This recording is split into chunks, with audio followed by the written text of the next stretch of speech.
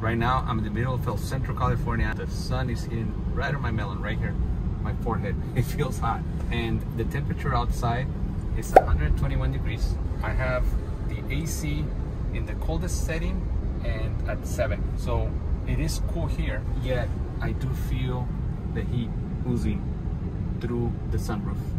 It is extremely hot. I just got off the car to pick up some food and oh my god, it's a big difference between the temperature in that car and this. This is 120 degree weather.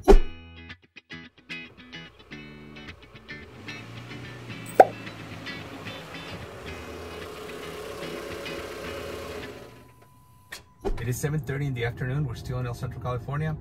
And it is 113 degrees Fahrenheit outside. The AC keeps up pretty good. That's the good news.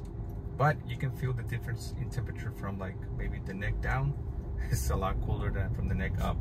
And my guess is that this car is just a huge uh, greenhouse that is just too much light, too much glass, too little insulation.